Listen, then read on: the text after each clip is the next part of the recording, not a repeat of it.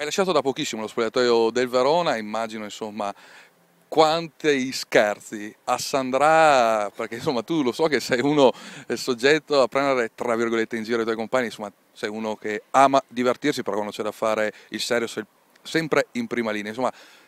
che è il tuo ex compagno del Verona più simpatico, quello con cui hai stretto maggiori rapporti? Diciamo con tutti, meno male, io ho legato ovunque vada, io sempre faccio volere bene dai miei compagni, o nel bene o nel male c'è sempre questa simpatia tra di, tra di noi, no? E poi specialmente anche su di me.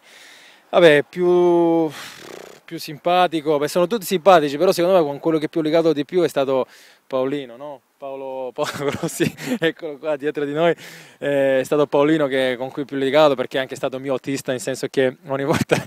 da, abitavamo a Desenzano, lui mi portava spesso e volentieri da, dal, da, da Desenzano a Sandrano, mi portava spesso e volentieri, mi è stato il mio autista personale, io, lui guidava, io ero lì seduto steso, mi riposavo per fare allenamenti. No, forse è lui perché è un ragazzo simpatico, un ragazzo molto schietto, poi abbiamo ho litigato un po' di più con lui.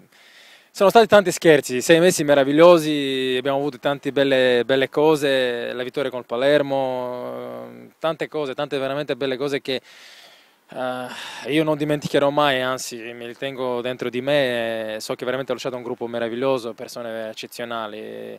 Vorrei salutare tutti, magazzinieri, fisioterapisti, dottori, massaggiatori perché sono stati fondamentali per me, tutti quanti. Voglio salutare, ripeto, secondo me il più più secondo me quello che prendiamo più in giro è Paolino, ma tutti quanti lo prendiamo per giro perché per tanti motivi, lui lo sa, io non li posso svelare qui davanti alla telecamera, però